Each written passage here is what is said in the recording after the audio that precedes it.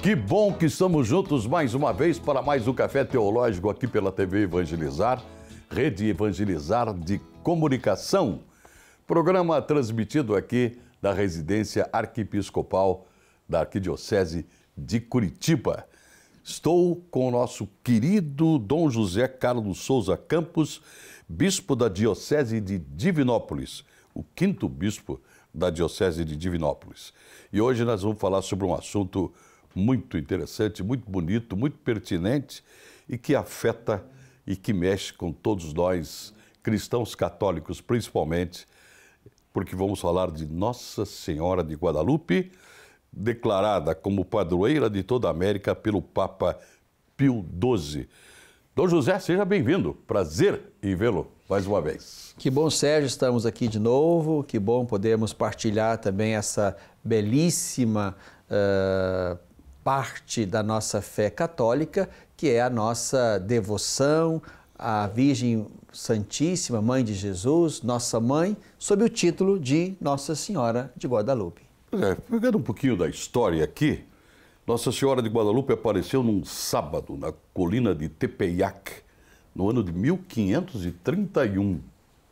O indígena Juan Diego, que foi canonizado pelo Papa João Paulo II no ano de 2002, caminhava para a cidade do México a fim de participar da catequese e da Santa Missa, quando de repente foi surpreendido por sons, por coisas que chamaram a sua atenção. Guadalupe é uma das mais bonitas e importantes manifestações marianas da nossa fé cristã, católica, Dom José. Sem dúvida, Sérgio. É, é bem verdade que os nossos cuidados com a nossa mãe são cuidados sempre muito, muito exagerados e multiplicados. A mãe da gente, a gente cuida sempre com muito esmero, não é verdade? Isso, é verdade. Então, é verdade também que a mãe de Jesus, é, ao longo desses dois mil anos de cristianismo, né, é, foi também encontrando no meio das comunidades cristãs um lugar muito favorável, um lugar de muito afeto, um lugar de sadia devoção. Então, por esse mundo afora, nós temos muitas tradições marianas. Imagino que a tradição mariana mais marcante para a nossa América Latina seja essa de Guadalupe, apesar de nós também termos ao longo do continente muitas tradições marianas, digamos assim, mais particulares. Aqui no Brasil, a nossa Nossa Senhora Aparecida, de quem nós celebramos 300 anos do encontro da imagem, né? Uhum. Então, eh, cada país normalmente cria um pouco a sua devoção ao redor do título eh, que lhe convém ou um título impactante ligado à Mãe de Jesus. Mas Guadalupe, sem dúvida alguma, talvez até pela, digamos assim, antiguidade do, eh, do título, né? Estamos aí no início da colonização, da colonização na América, né? Um pouco antes tinham chegado os missionários eh, espanhóis.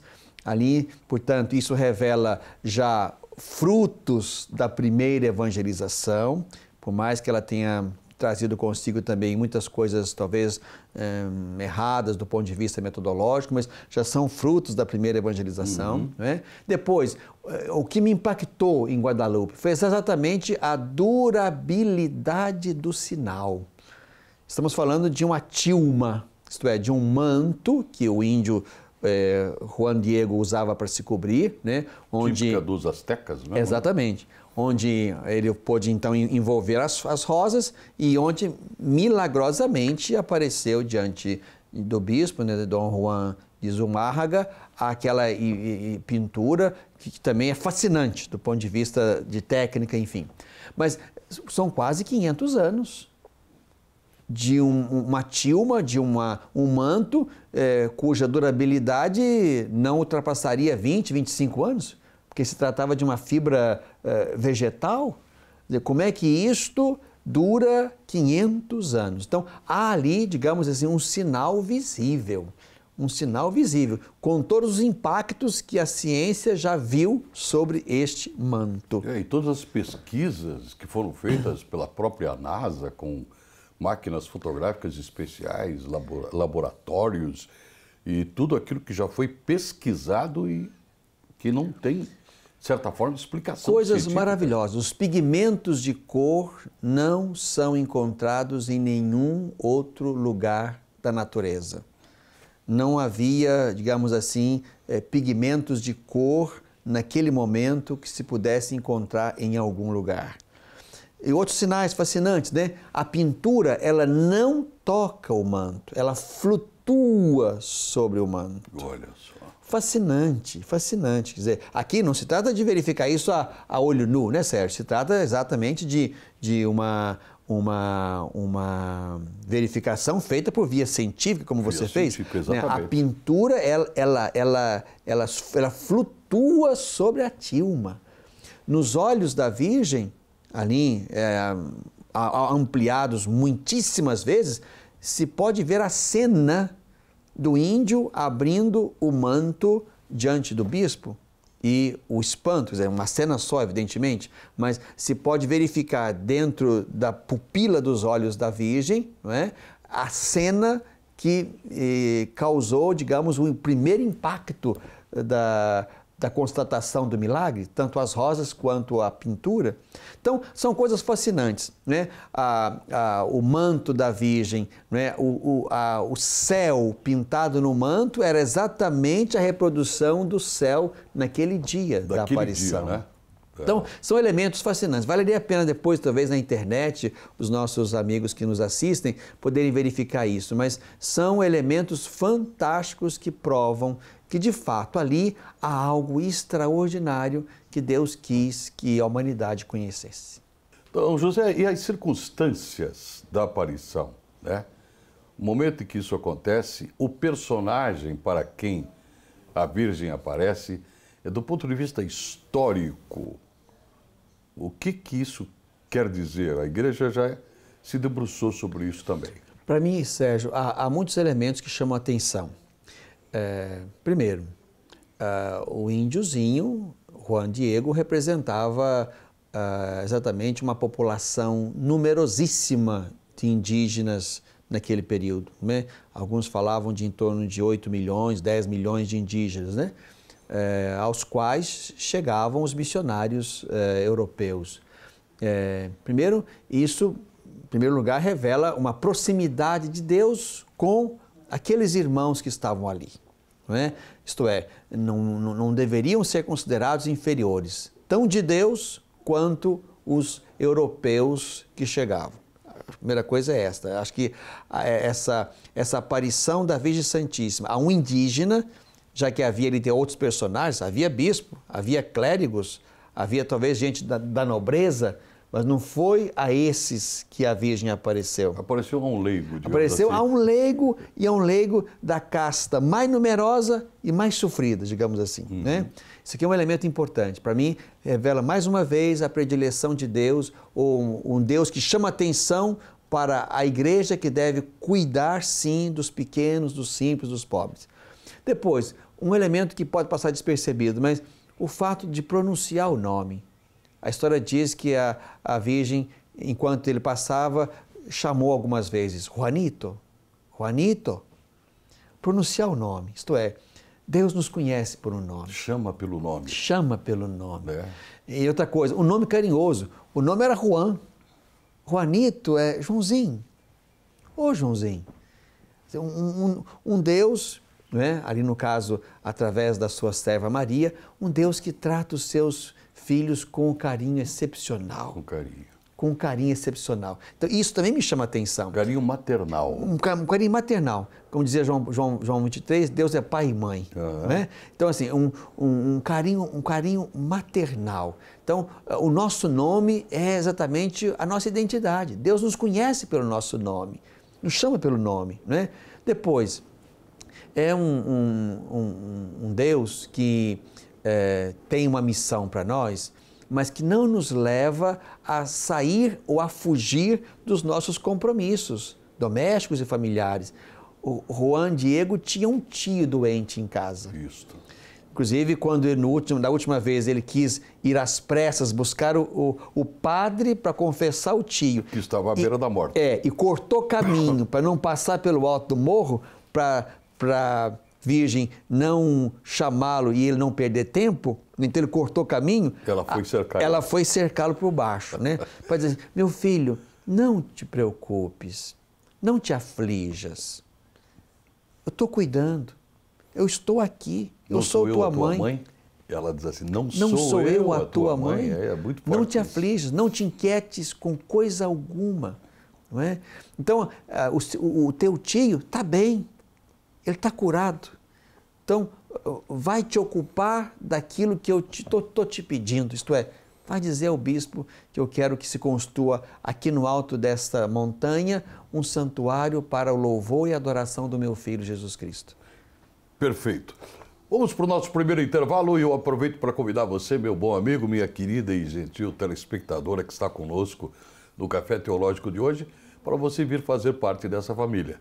Aproveite, vá até o seu telefone e diz que 3221 6060, tecle 1 e se torne um associado, uma associada nesta obra. Evangelizar é preciso. Eu com Dom José vamos tomar um cafezinho e já voltamos para a segunda parte do Café Teológico de hoje. Venha junto com a gente.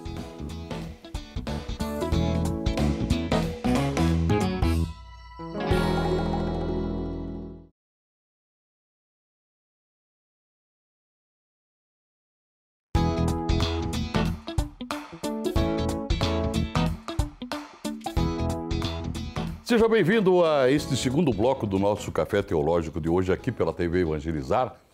Estamos falando sobre Nossa Senhora de Guadalupe, quase 500 anos dessa aparição, desse fenômeno mariológico que até hoje é, nos enche de espanto, já pelas coisas que foram declinadas aqui pelo nosso querido convidado, Dom José Carlos Souza Campos, quinto bispo da Diocese de de Divinópolis. Muitos detalhes eh, fazem parte de, de, de, deste momento e desses encontros de Juan Diego com a Morenita, como ele vai dizer, ele vai chamá-la de menina também. Há um carinho muito grande entre os dois.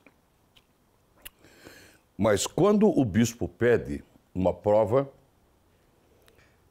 e Nossa Senhora diz assim: vai apanhar as prova, a prova que eu vou enviar, ele pede, ela pede que ele vá recolher flores num lugar inóspito. Não nascem flores naquele lugar. Não e nem naquele nada. tempo.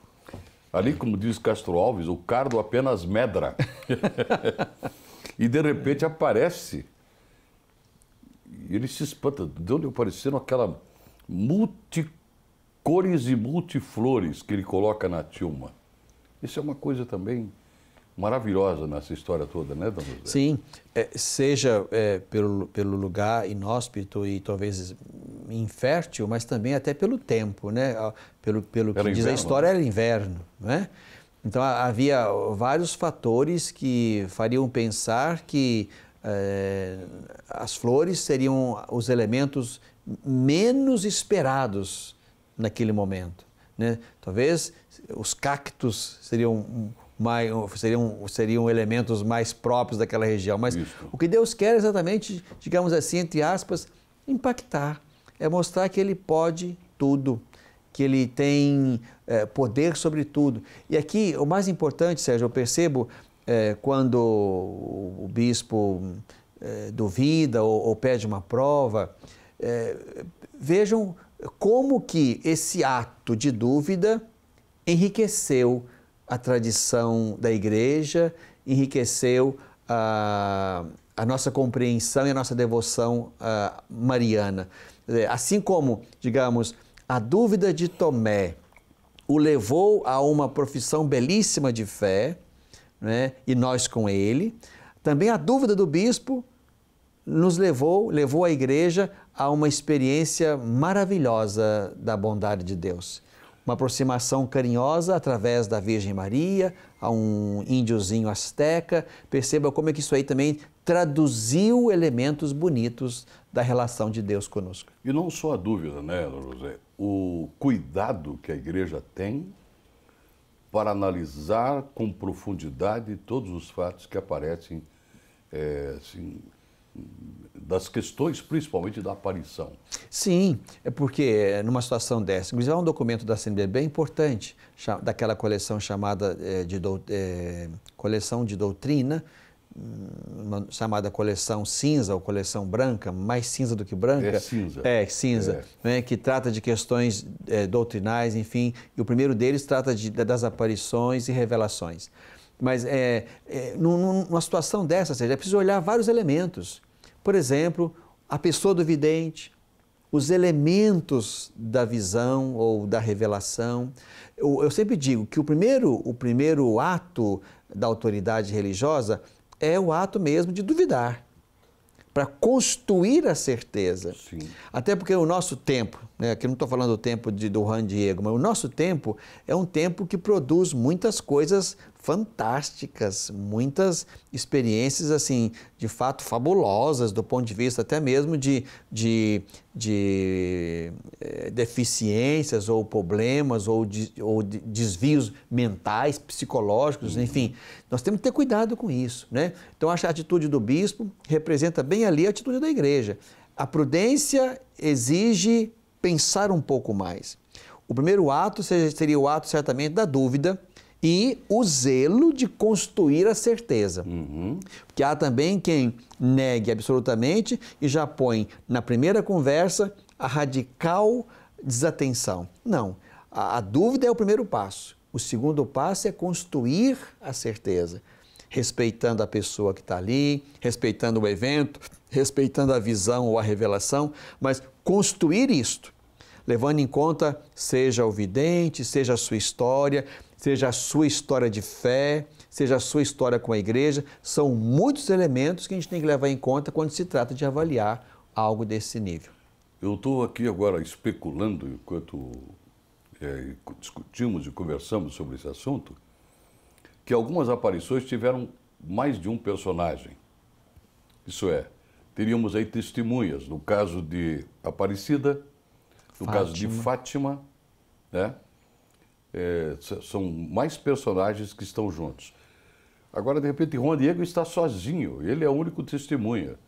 Assim como Catarina Labourré, com a medalha milagrosa. Sim. Né? E como Bernadette com Lourdes, Lourdes. Sim. Me parece que quando o personagem está só ele na história, eh, se, se, reveste de um pouco mais de dificuldade. Quem mais viu? Sim. Eu vi. Porque se trata de uma única testemunha, se trata é. de uma única testemunha, né? Sem dúvida alguma, se há, digamos assim, testemunhas convergentes acerca do mesmo evento, isso já dá um certo peso àquela situação. Eu penso, Sérgio, que a primeira coisa a fazer não é ironizar, desconsiderar, fazer de conta que não existe, fazer de conta que é falso, não dar atenção. Para mim, a primeira coisa, digamos assim, é acolher aquela pessoa que chega com a sua história. Eu sempre digo que são histórias pessoais. Eu não posso duvidar que você, na sua história pessoal, tenha feito uma experiência mística. Houve santos que fizeram isso de maneira maravilhosa. Uhum. Santa Teresa d'Ávila, por exemplo, para citar uma só, né? Tinha lá as suas, as suas visões, né? enfim, e outras tantas. Mas então eu, eu tenho que supor que essa experiência ela é possível sim, do ponto de vista pessoal. Agora, o difícil é dar o passo do pessoal ao, digamos, ao público, do pessoal à, à igreja. Aqui se trata de um outro movimento. Né? Eu não posso duvidar das suas experiências místicas. Agora, querer que as suas experiências místicas sejam da igreja ou que a igreja as reconheça como suas, aqui estamos no outro nível. Né? Deus pode falar a você diferente do modo como ele fala comigo. Né? Eu sempre digo assim, para quem às vezes vem me contar uma história ou outra: é, meu irmão, que bom que você viveu, sentiu e sabe e dá testemunho disso. Viva isso como um estímulo à sua fé. Uhum. Mantenha-se aceso, vigilante, atento, orante. Né? Agora, isso não significa que a igreja tenha que assinar um documento dizendo que Deus apareceu a você. Passados quase 500 anos, José, e é, o, Papa Pio XII percebeu nessa manifestação, nessa devoção, algo tão bonito, tão importante, que falou padroeira das Américas. Quer dizer, é um acontecimento relevante para o povo latino-americano, não só para o México. Transcende as fronteiras, né? É uma fé que chega até nós, chega até Curitiba, chega até o Santuário de Guadalupe, né? E tantos outros santuários que existem com esse nome, né? Quer dizer, além dos aspectos da ciência, cada vez mais comprovar com a dúvida, sempre colocando sim, será, será que é, será sim, que é? Sim. Ainda uma fé que veio crescendo e sendo, é, digamos, passou de geração em geração. Sim, é, houve, houve passos importantes, né? É, em tempos diferentes, inclusive. Né? Padroeira do México, padroeira das Américas, padroeira da América Latina. Então, foram, foram, foram passos importantes. Agora, isso para mim também revela um cuidado do, do Papa ou dos Papas em, de alguma maneira, também é, valorizar as populações autóctones. Porque o Juan Diego era alguém daquela terra, nasceu ali, viveu ali, morreu ali. E, e, como ele, havia outros tantos, né? Os astecas, os maias, os incas, inclusive com outras tradições religiosas, chegaram os missionários e, bem ou mal, souberam também, digamos, catequizar, converter muitos daqueles indígenas diga-se de passagem, às vezes por meios não, não tão cristãos, mas também houve quem fez isso de modo belíssimo. Basta a gente pensar nas reduções jesuíticas, aqui mesmo no, no, sul, no sul do país. É, né? E se tratando dos astecas, também a figura de Bartolomeu de las Casas. De las Casas, sem dúvida alguma. Né? Então perceba que houve experiências valiosíssimas, belíssimas de evangelização que respeitou a, a cultura, que respeitou a língua. O próprio José de Anchieta aqui aprendeu a língua dos povos para poder evangelizá-los. É, chegou a fazer uma peça de teatro é, exatamente. com os índios da língua é, Então, né? se houve momentos assim que, se, que podemos dizer onde que a metodologia faltou com, é, com uma verdadeira inspiração cristã, é também verdade que houve muitas experiências onde de fato a fé foi proposta, acolhida e cuidada. Né? Então eu penso que essa, essa atenção dos papas em relação a esses títulos que foram sendo dados à, à Virgem de Guadalupe, primeiro revela, portanto, o cuidado e ao mesmo tempo a valorização eh, do povo destas terras que também vive experiências religiosas bonitas, válidas, impactantes, testemunhais. Acho isso muito, muito bacana a ponto de chegar aqui. E há, há, no Brasil muitas paróquias dedicadas à Nossa Senhora de Guadalupe, uma delas aqui entre vocês, né? Isso também revela que, de fato, essa devoção bem original, bem local do ponto de vista das Américas, percorreu o continente todo. Né? Chegou aqui, certamente ultrapassou as terras brasileiras. Isso é bonito. Primeiro, que revela um grande e bonito eh, jeito da nossa gente eh, olhar para Maria. É? A, a, fé católica é uma fé eminentemente mariana. E vejo isso como um traço importante. Vejo isso como um traço importante. Né? Eu penso que é um traço que distingue o catolicismo. É? Agora, temos que cuidar para que essa devoção mariana seja, seja sadia não ofusque Cristo, não é verdade? Perfeito. Não tire a importância da igreja a ponto de ser apenas uma devoção que eu vivo em casa, né? não, não desvirtue também o próprio processo de salvação. Quem me salva é Jesus. A pedra fundamental é Jesus. É, Maria participa da economia. Da economia de salvação, de salvação né? É? Como dizia Santo Anselmo, né? Deus eh, gerou aquele pelo qual ele fez tudo. Maria deu à luz aquele que salvou a todos. Então, isso é de Santo Anselmo. É, então, perceba que Maria tem o seu lugar próprio na economia, na, na história de salvação. Uhum. E ela tem que ser reconhecida como tal. Perfeito. Vamos para mais um intervalo e já voltamos com a terceira parte do nosso Café Teológico de hoje, falando sobre Nossa Senhora de Guadalupe, com o nosso convidado, Dom José Carlos Souza Campos quinto bispo da Diocese de Divinópolis, Minas Gerais. Voltamos já, é o tempo de um cafezinho. A gente já volta.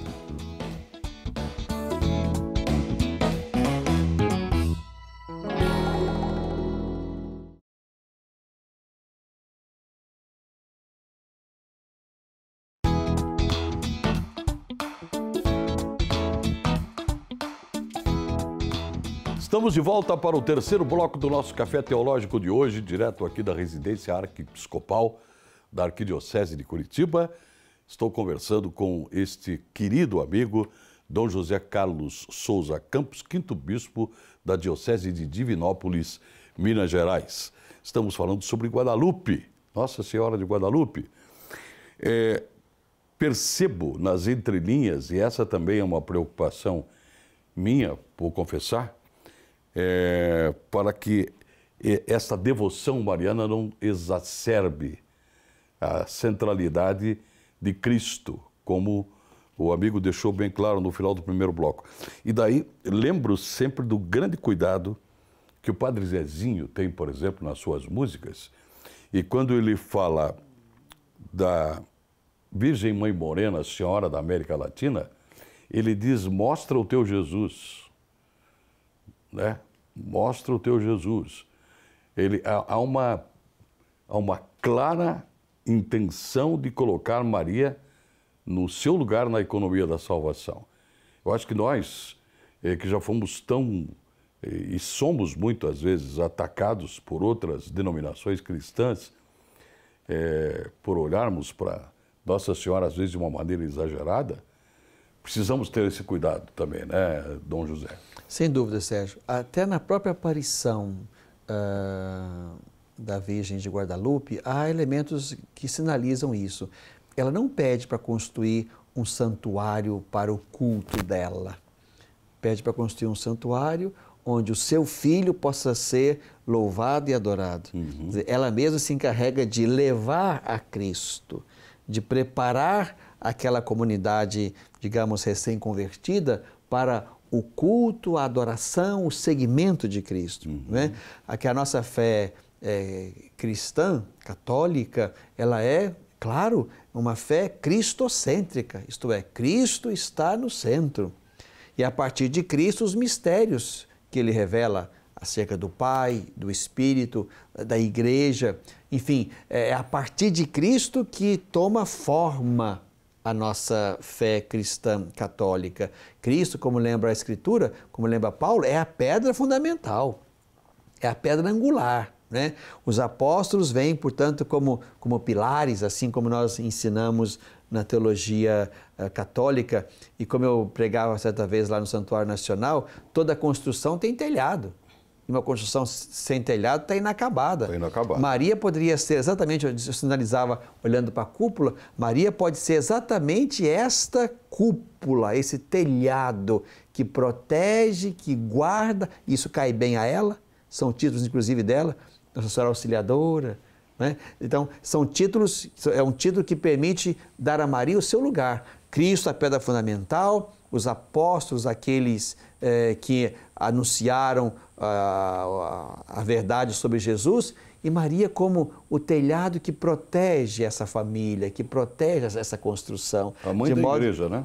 De modo que tenha lugar primordial, fundamental, fundante para Cristo, um, um, um, lugar, digamos assim, missionário, sustentador, que são os pilares, e certamente esse cuidado, essa imagem materna do telhado que protege a casa.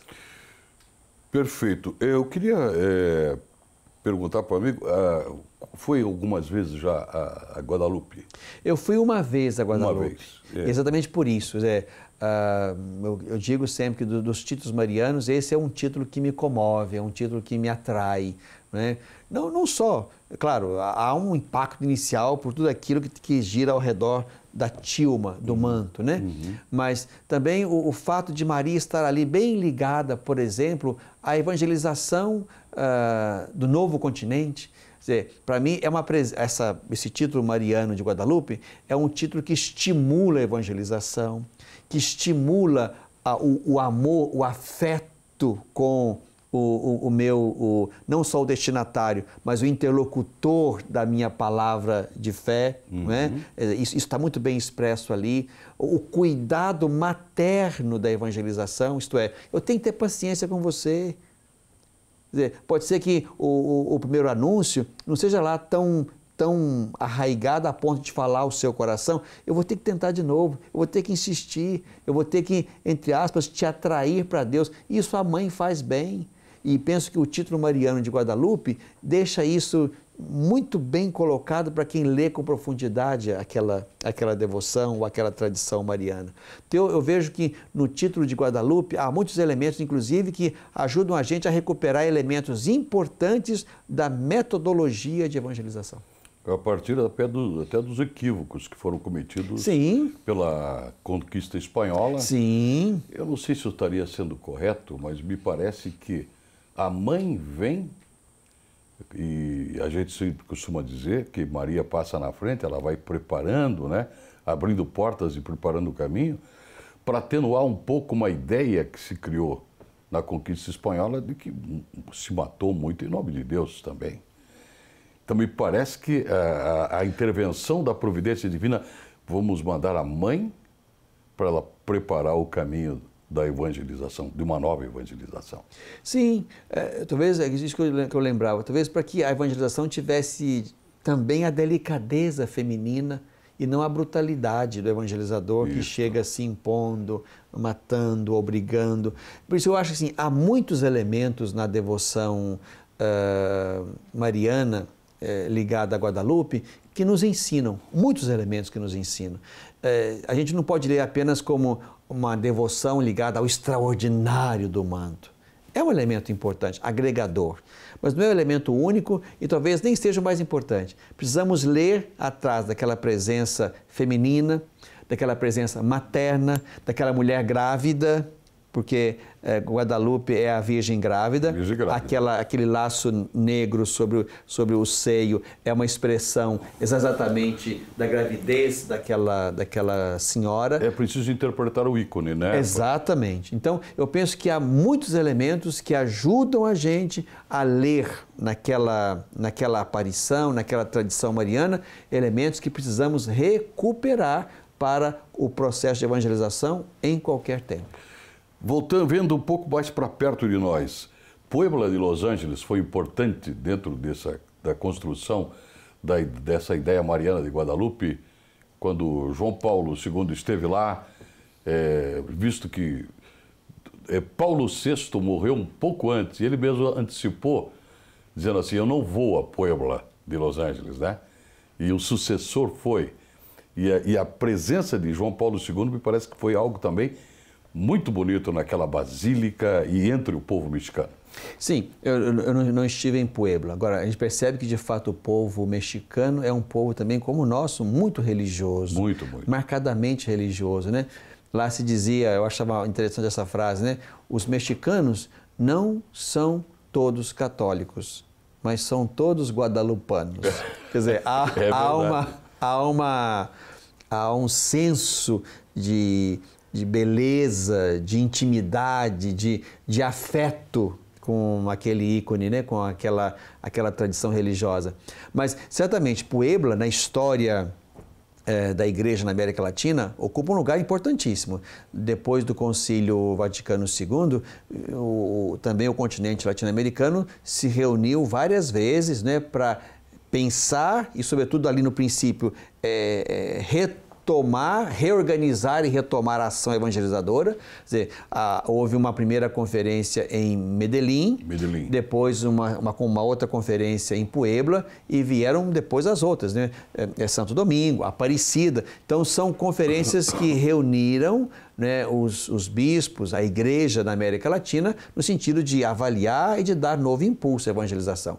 Certamente ali a presença do Papa João Paulo II, também ele marcadamente mariano. Inclusive lá em, Guadalupe há uma, uma bela estátua, né, agora de São João Paulo II, né, expressão também daquele coração mariano. Tanto é que o lema dele remetia a Maria, né, totus tuo, é, certamente uma referência dele, João Paulo II, a Maria, a quem ele confiava o seu ministério petrino. Perfeito. Vamos aproveitar esse finalzinho porque eu acho que a gente tem que aproveitar para fazer aqui uma evangelização e uma catequese, aproveitando. Como é que nós poderíamos ser devotos de Maria sem perder o foco no personagem principal? Eu sempre digo assim, Sérgio: quem é amigo de Maria tem que cultivar algumas outras amizades. Quem é amigo de Maria tem que ser amigo de Deus, Porque o que Maria quer é levar a Deus. Ela não quer esse lugar. Esse lugar não é dela. Ela quer levar a Deus, ela quer levar ao seu filho Jesus Cristo. Quem é amigo de Maria é amigo de Deus. Quem é amigo só de Maria e perdeu Deus de vista, não tem com amizade assim tão sadia com Maria, não. Quem é amigo de Maria é amigo de Deus. Quem é amigo de Maria é amigo da igreja. Isto é, sabe que Maria é a mãe da igreja e é lá que Maria quer que estejam seus filhos, discípulos do seu filho eh, Jesus Cristo. Né? Quem é amigo de Maria é amigo da palavra. Maria é aquela que, por excelência, acolhe e dá carne à palavra. Como dizia São Bernardo, né? A, é, guarda a palavra. Guarda a palavra. Os que guardam a palavra são felizes. Maria guardava essas coisas do coração. É. Então, é, dizia São Bernardo, guarda a palavra no mais íntimo da tua alma. Lá onde estão teus sentimentos e os teus costumes, dizia São Bernardo. Então é importante também que, que quem seja amigo de Maria seja amigo da palavra de Deus, amigo da Bíblia. Tenha uma, uma, uma frequente leitura orante da Bíblia. E por fim, amigo de Deus, amigo da igreja, amigo da palavra, amigo dos pobres. Quem é amigo de Maria tem que ser amigo dos pobres. Maria, por excelência, não só aquela que ela mesma se mostra assim, vai apressadamente ajudar outra pobre, velha, grávida, até então estéril, mas também o seu é, o cântico é aquele que expressa a bondade e a misericórdia de Deus na direção dos pobres. Deus derruba, detesta os soberbos, os orgulhosos, eleva e ama os mais pobres e humildes. Quem é amigo de Maria tem que ser amigo também dos pobres. Então eu digo: se eu, se você, se quem está nos assistindo é, não é amigo de Deus, não é amigo da igreja, não é amigo da palavra, não é amigo dos pobres, então também se pode duvidar se é de fato amigo de Maria. Muito bom. Conversei em mais este café teológico com Dom José Carlos Souza Campos, quinto bispo da Diocese de Divinópolis, na nossa querida Minas Gerais, sobre Nossa Senhora de Guadalupe. Uma pequena aula de Mariologia que nos deu o nosso querido convidado. Muito obrigado, meu irmão. A sua bênção e a intercessão de Nossa Senhora de Guadalupe. Deus te abençoe e abençoe ricamente os que estão nos assistindo e que a Virgem Santíssima cuide de nós e nos ajude a ir com firmeza e com perseverança atrás do seu Filho Jesus, que é o nosso Mestre. Perfeito. E obrigado a você que nos acompanhou em mais um Café Teológico. Fica o convite aqui para a gente se encontrar no próximo programa. Até lá!